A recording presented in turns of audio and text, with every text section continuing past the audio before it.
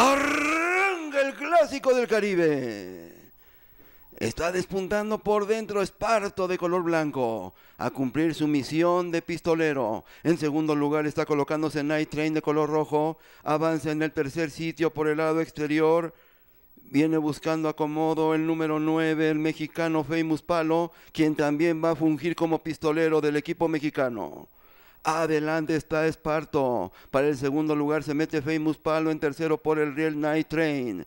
En el quinto lugar está asomando Flicky Tricky con el número 10. Seguido de registro con el número 11.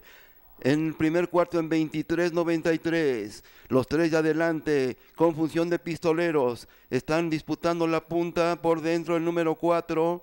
Viene avanzando Supremo para el primer lugar. Se queda en el segundo sitio Famous Palo.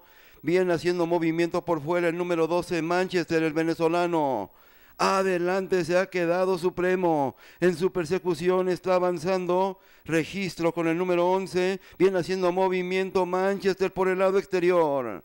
Están bordeando la curva final ya. Adelante se encuentra el venezolano supremo. Famous Palo en el segundo lugar. Viene avanzando por el riel Esparto a buscar el subliderato. Y ya se mueve el tordillo calínico. También viene volando por el lado exterior el mexicano Huitlacoche de color rojo. Huitlacoche se enlaza en el duelo esperado contra el tordillo calínico que se abre demasiado al entrar a la recta final. Adelante está Supremo.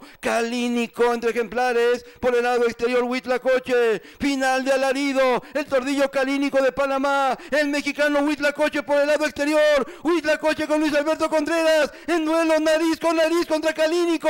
Huitlacoche y Calínico. En un final sumamente emocionado en el Clásico del Caribe. Y es Calínico el ganador. Se queda Huitlacoche en segundo. Tercero Supremo. Así llegan.